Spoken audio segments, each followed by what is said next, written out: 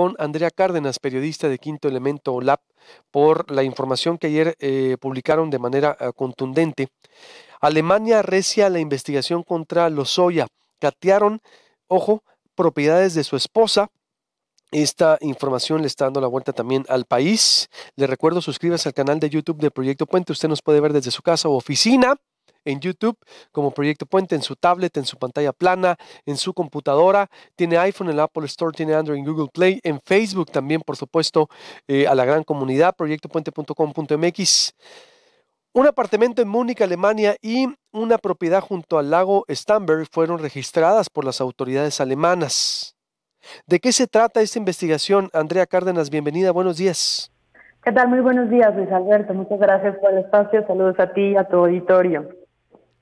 Adelante, cuéntanos por favor eh, cómo se está conduciendo esta investigación sobre Emilio Lozoya y también la señora X por lavado de dinero.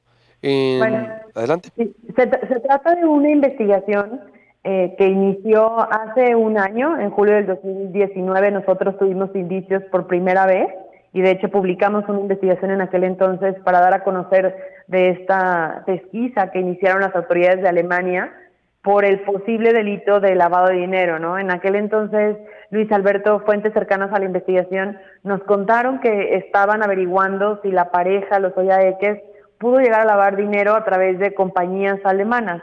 Sin embargo, desde entonces, en un año, no se supo más de la investigación. Eh, sabemos que, ha estado bajo gran sigilo por tratarse de una investigación en curso y, y, bueno, ahora es la primera vez que se conocen, que trascienden las acciones de la policía sobre este caso. Ayer precisamente revelábamos que las autoridades de Alemania intensificaron la, la investigación por blanqueo de capitales sobre el exdirector de Pemex y su esposa, cuando ordenaron el registro, el cateo de dos propiedades en Alemania. Eh, esto nos lo confirmó la semana pasada un portavoz de la oficina del fiscal de Múnich, quien nos eh, solamente se limitó a responder que estaban conduciendo esta investigación sobre la pareja Los Oyaeques. Eh, nosotros enviamos un cuestionario a las autoridades lo único que nos respondieron es que como parte de esta investigación, el martes 21 de julio habían revisado estos dos domicilios, un apartamento en el centro de Múnich y una propiedad a unos 50 kilómetros en, el lago Stamberg. Lo que trascendió por la prensa es que, porque esta noticia no pasó desapercibida para la prensa de Alemania, hay que recordar que la esposa de Emilio Lozoya Pertenece a una encumbrada familia fundadora de la más grande empresa de jugos en Europa, entonces pues el caso llamó la atención de los medios, de los tabloides, de la radio alemana, es que, y, lo que decían es que eh, la, esposa de Lozoya no se encontraba presente cuando registraron estos, estos domicilios, eh, también publicaron que de acuerdo a fuentes oficiales, se estaba indagando si ella y su esposo pudieron haber escondido dinero de los sobornos de México en Alemania o si lo habían canalizado a través de Alemania. Y es lo que, lo que ayer contábamos, ¿no? Eh, eh, cabe destacar que mientras esto sucedía en Alemania, Emilio Lozoya se encontraba en, en, ese entonces, el 21 de julio, en, pues custodiado en un hospital privado después de llegar aquí a México eh, y siendo atendido por una anemia y complicaciones en el esófago, según se publicó en diversos medios de comunicación. Esta es una investigación aparte de la Fiscalía, ¿verdad? De lo que está haciendo México. Así es, es una investigación independiente. Eh, desafortunadamente, por tratarse de una investigación en curso, no tenemos acceso al expediente de la investigación ni, ni conocemos todas las diligencias que están haciendo los fiscales en Alemania. Lo único que sabemos es que están indagando el delito de blanqueo de capitales, que aquí en México viene siendo el delito de lavado de dinero, pero no sabemos si tiene vinculación con el caso Odebrecht o con el caso de Altos Hornos, o qué es lo que están indagando en estas empresas eh, que, encontramos en el registro público de Alemania, eh, porque a raíz de que las fuentes comentaban que podía tratarse de, un lavado, de esquema de lavado de dinero en estas empresas, pues nos dimos a la tarea de investigar en el registro público alemán y encontramos dos empresas de bienes raíces, de inversión en bienes raíces, en las que aparece Emilio Lozoya y su esposa como accionistas. Y sabemos que estas empresas eh, están vigentes, o por lo menos hasta diciembre del 2019 seguían dadas de alta en el registro alemán, ¿no?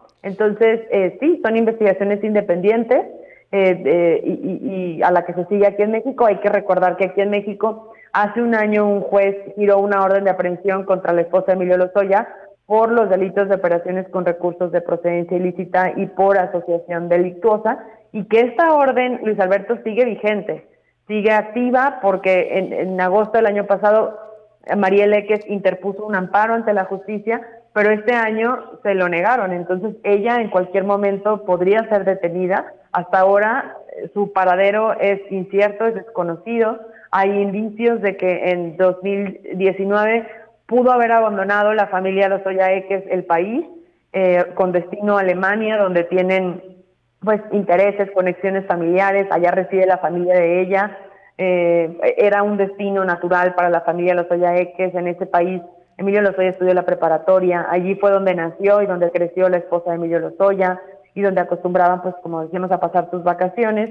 Allá fue detenida la mamá de Emilio Lozoya también el año pasado, al norte del país, en una isla, donde estaba con sus nietos, los hijos de Lozoya. Entonces, eh, pues hay que seguir al pendiente del curso de esta investigación, a ver hasta dónde llega y cuál es el impacto que pueda tener. A ver, y dando el contexto también, tanto Lozoya, Emilio Lozoya y María Leques, eh, 14 años de casados, eran socios en dos empresas, ¿es así? E, eran socios en dos empresas. El mismo Emilio Lozoya, desde la cuenta de Pemex, por ejemplo, o depositó o donó a María Leques para adquirir una mansión en las playas de Ixtapa a través de un fideicomiso. ¿Sí? esos son, datos, son dos datos confirmados. Es decir, en un negocio en familia que crearon eh, también ellos o, que trabajaban así, eh, por ejemplo, Andrea?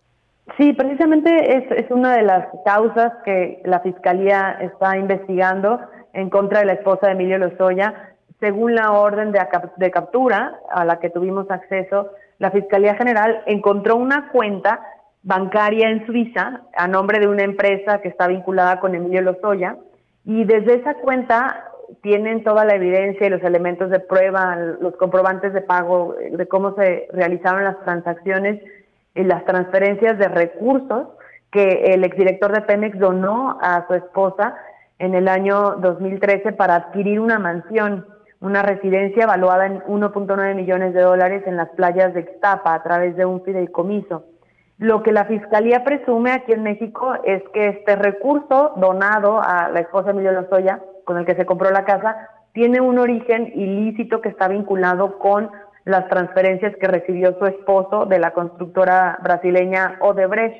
Entonces, bueno, la, la orden de aprehensión también documenta que la esposa de Lozoya se alió y otorgó un poder especial a favor de un abogado que trabajó para la empresa Altos Hornos de México, eh, con la finalidad de crear este fideicomiso para comprar el inmueble. Y la fiscalía pues tiene todas estas pruebas según eh, lo, que se vino ventilando en las audiencias en las que se vinculó a proceso Emilio Lozoya. Y es por eso que sigue activa ¿no? la orden de aprehensión en, en contra de la esposa de Emilio Lozoya. Vaya momentos que está viviendo la familia y en familia y también los riesgos de cuando las involucras o se involucran en los negocios. Conclusión entonces, Andrea, ¿algo más que desees agregar que no te haya preguntado de esta importante investigación que hace Quinto Elemento Lab? No, pues nada más eh, mencionar que hasta ahora la Fiscalía Mexicana no ha confirmado si hay una alerta de búsqueda que haya girado la Interpol para localizar a María Leques, eh, pero la investigación en Alemania es importante reiterar que sigue su curso, eh, todavía no se judicializa, es una investigación en la que seguramente veremos más diligencias y acciones de la justicia, en los de la policía en los próximos días y, pues estaremos al pendiente, ¿no? Escuchábamos la versión también de María Leques a partir de un cuestionario que nos respondió el año pasado en donde ella pues negaba que el dinero que, que le dio su esposo fuera tuviera un origen ilícito ella mencionaba que todo que todo el recurso eh, se, se, consiguió y vino de antes desde antes de que Emilio Lozoya fuera funcionario público y bueno esa es por una parte la versión de ella pero habrá que ver también las pruebas que los fiscales alemanes estén integrando para sustentar y, armar esta investigación que siga adelante, ¿no? Independiente a la mexicana. Muy bien, te agradezco mucho. Gracias, Andrea Cárdenas, de periodista de Quinto Elemento Lab para Proyecto Puente. Buenos días. Buenos días, Luis. Hasta luego. Hasta luego. Suscríbase al canal de YouTube. Usted nos puede ver desde su casa o oficina desde las seis y media de la mañana. Este noticiero ahí en su pantalla plana, en su Smart TV, en su computadora, en su tablet, por supuesto. Baja la aplicación en su Facebook. También nos puede ver en proyectopuente.com.mx. Antes de irme al corte, para